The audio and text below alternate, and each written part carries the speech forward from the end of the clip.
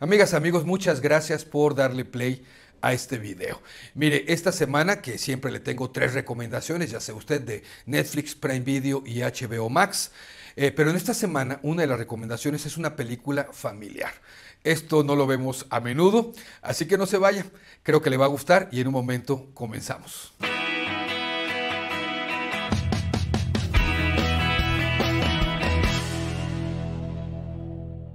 Pues muy bien, les saludo nuevamente, soy Jesús Taylor, le agradezco nuevamente que me acompañe una semana más en las recomendaciones y análisis de series, de películas que hacemos por lo pronto en las plataformas.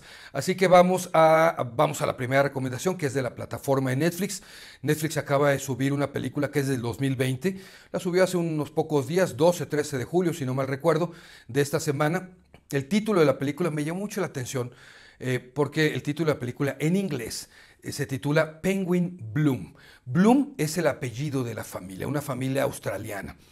Y eh, Penguin, que significa pingüino, el título adaptado al español, que me, paró, me pareció desastrosa la adaptación porque echan a perder la película y hacen algo que a mí no me gusta de estas películas. El título adaptado al español es Un milagro inesperado. Usted le encuentra también con el título en inglés, ¿eh? por eso se lo pongo aquí. Usted está viendo el cartel.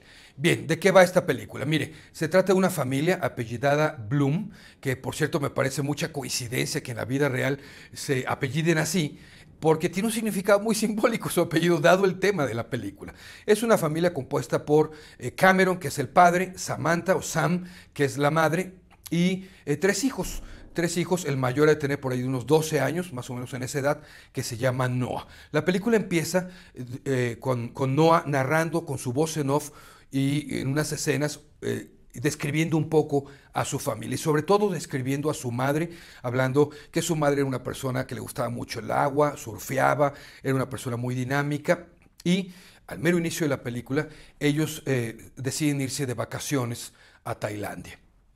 Estando en Tailandia, Sam, eh, la madre, sufre un accidente terrible que la deja paralizada de la mitad de su cuerpo para abajo. Y esto viene a cambiar toda la dinámica de la familia. Mire, este tipo de películas eh, eh, que a veces se basan en tragedias, se centran mucho en la tragedia en sí y en la superación de la tragedia y a veces eh, se pasan en, la dosis del melodrama y la manipulación de los sentimientos para el espectador y, lo lacrimógeno que yo le digo que se vuelven las películas y nos tratan de manipular un, poco o un mucho a veces. Y me pareció muy interesante que esta película no lo hiciera así. La película se centra realmente en eh, los sentimientos y las emociones que surgen tras un evento como este que viene a cambiar toda la dinámica familiar. ¿Sabe usted? Mucha frustración y también un sentimiento eh, muy difícil de manejar, que es la culpa. Pero ¿por qué el título de la película? Bueno, porque eh, cambiando toda esta dinámica, pues los chicos estaban acostumbrados a tener mucho contacto con la naturaleza en su familia, por la zona en la que vivían, vivían cerca de la playa, y eh, estando un día en la playa con su padre, porque su madre no pudo ir, se quedó en la casa, uno de ellos, eh, Noah, el mayor, encuentra un pajarito ahí en la arena eh, que asume que se cayó de su nido y el pajarito no podía volar. Lo rescatan, se lo llevan a la casa, lo quieren cuidar y le ponen como nombre de cariño al pajarillo, le ponen penguin, porque dice Noah que su plumaje era parecido al de los pingüinos porque era negro con blanco. Y Penguin va a ir tomando poco a poco su lugar en la familia y en la casa. Pero no es de estas películas donde los animales eh, nos sorprenden así con, ya sabe usted, el perro que juega béisbol y básquetbol y de todo y rescata a los niños. Y, no, no, no. Es una película que dosifica muy bien las emociones y los sentimientos. Y usted entenderá que en la dinámica que hay eh, de la familia, pues los chicos se iban a la escuela, eh, Cam, Cameron, se iba al trabajo y quien se quedaba en la casa eh, eh, junto con, eh, o acompañando, vamos a decirlo así, a Samantha, era Penguin. Y usted va a ver toda una serie de circunstancias muy interesantes, le repito, bien dosificadas las emociones y los sentimientos sin caer en una película manipuladora y lacrimógena. Me llama mucho la atención que la película participó en el Festival de Toronto, ya le he dicho que es uno de los mejores festivales a nivel internacional, posiblemente como festival sea de los mejores, si no es que el mejor, eh, en, eh, en América, en el continente americano. El de Toronto es un muy buen festival, tuvo muy buena recepción en, eh, en, ese festival y en la crítica en general. La película está protagonizada en el personaje principal de Sam, eh, Naomi Watts, que es una buena actriz. Y mire qué dato curioso, utilizaron 10 pajarillos 10 pajarillos para hacer el personaje de Penguin. Sabe usted, no pueden depender de uno solo eh, para diferentes escenas, diferentes momentos. Hay 10, si usted ve los créditos, aparecen, eh, busca los créditos, aparecen hasta los nombres de los pajaritos que interpretaron a Penguin, así que no podrían dar, en el caso que lo nominaran, no podrían dar un solo premio a un solo pajarillo. es una buena, buena película, está basada en el libro que escribe Cameron Bloom, el esposo de Sam. En eso se basa y se inspira la película.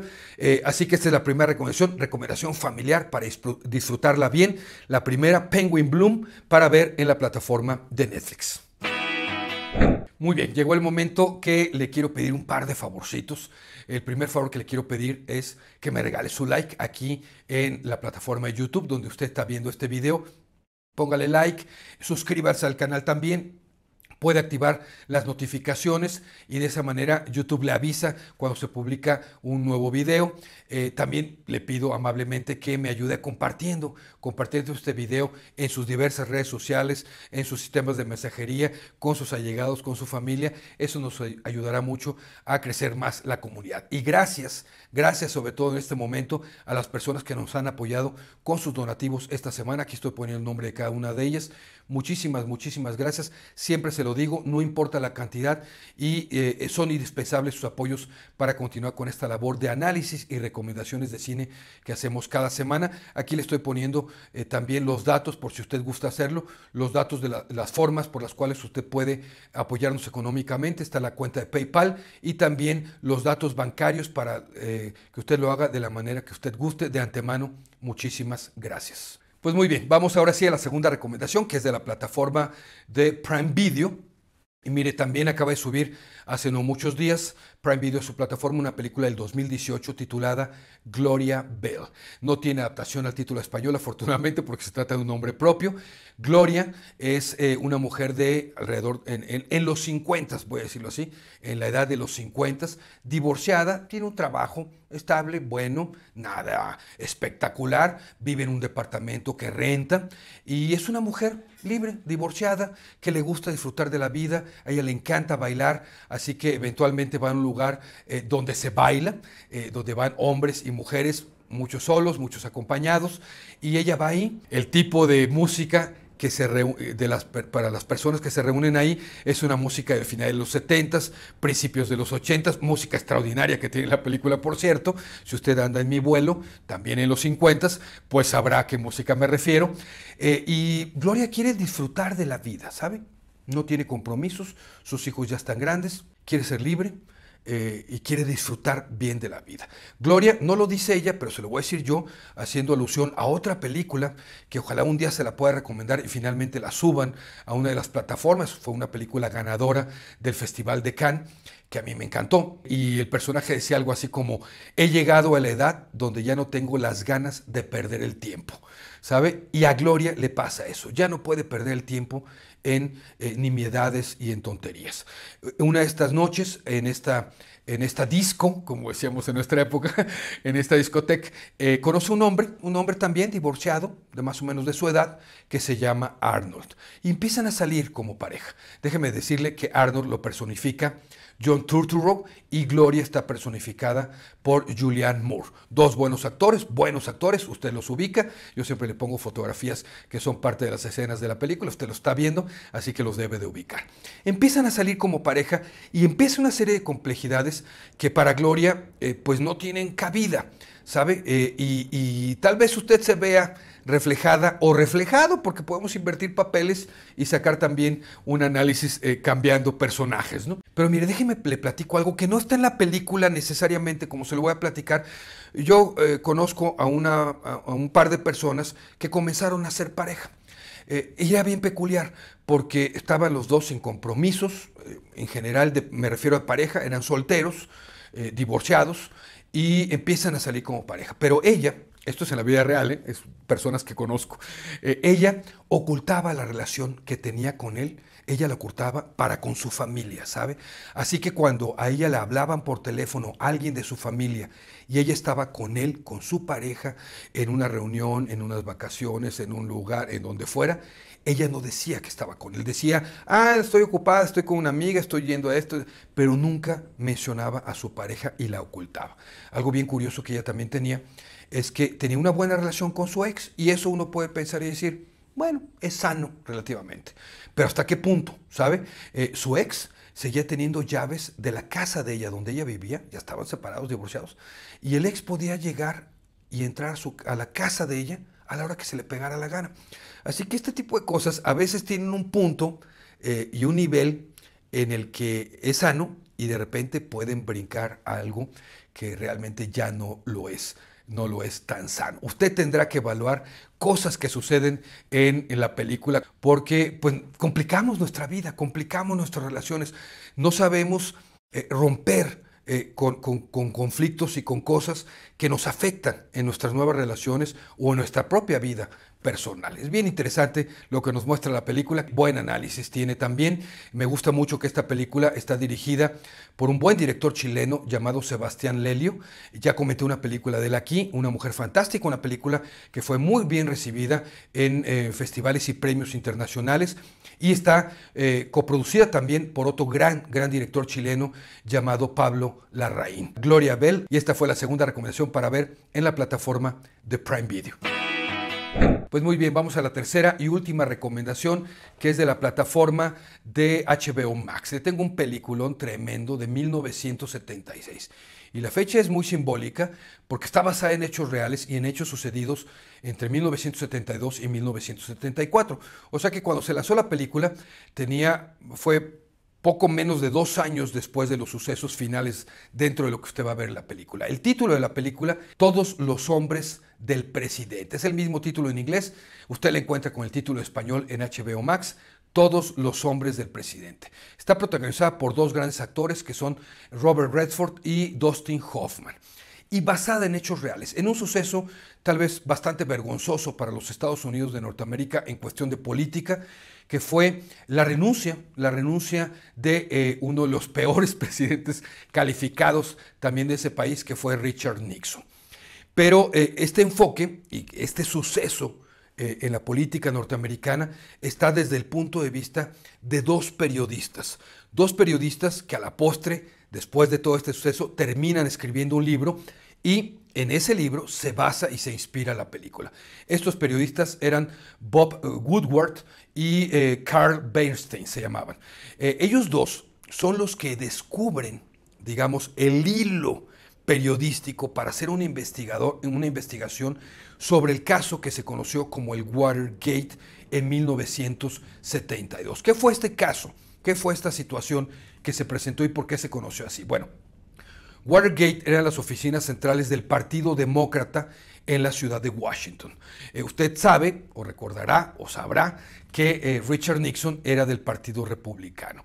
Y lo que sucedió es que entraron a las oficinas del Partido Demócrata, el edificio Watergate, a hacer espionaje, a plantar micrófonos y a robar documentación y hacer espionaje por parte de los republicanos, pero por parte de, eh, digamos, este espionaje autorizado por los más altos niveles del gobierno de Richard Nixon. Pero bueno, al inicio no se sabía y pues se pensaron muchas cosas, pensaban que era un, robo simple de unas personas que habían encontrado ahí, que los atraparon eh, en flagrancia, eh, cinco o seis personas, y estos periodistas, Woodward y Bernstein, encuentran el hilo conductor y van haciendo toda una investigación que, mire, la película lo pone a uno en mucha tensión porque se trata de algo policíaco, de espionaje, de investigación periodística y todas las trabas y las cosas que ellos iban descubriendo y cómo tenían que hacer. Además, créame, también es un, buen ejercicio periodístico para aprender hoy en día que, eh, pues hablando del periodismo, muchos dejan que desear, ya sabe usted, estas, estos montajes, estos, e, estas cosas que estamos viviendo ahorita de eh, cómo se vende el periodista, eh, cómo apoya eh, ciegamente a un grupo a otro, a un gobierno a otro, por sus propios intereses o intereses de los gobiernos. Es una película muy, muy bien hecha, muy interesante, créame, vale muchísimo la pena ver y entender los momentos políticos también de aquel entonces. Estaba la guerra de Vietnam, estaban muchas cosas, pero también entender los momentos políticos de hoy en día y cómo las cosas de repente se siguen repitiendo en la historia de nosotros los seres humanos. Es una película eh, que fue dirigida por Alan J. Pakula, Pakula y dentro de la coproducción estaba el mismo Robert Redford. La película tuvo ocho nominaciones en los premios Oscar, de los cuales ganó cuatro, diez en los premios BAFTA y cuatro nominaciones en los Golden Globes. Es una buena, muy, muy buena película y esta fue la tercera recomendación para ver en la plataforma de HBO Max. Pues muy bien, llegamos al final del programa. Estas fueron las tres recomendaciones que les preparé para esta semana. Como siempre trato de darle opciones diferentes para diferentes gustos, de varios estilos. En este caso hay una eh, película que se puede disfrutar familiarmente, creo que eso es bastante bueno. Soy Jesús Taylor, aquí les estoy poniendo mis redes sociales. Eh, gracias por escribirme en ellas y ya sabe lo que les deseo. Que tenga buen cine y buenas palomitas. Nos vemos en la próxima emisión. Hasta pronto.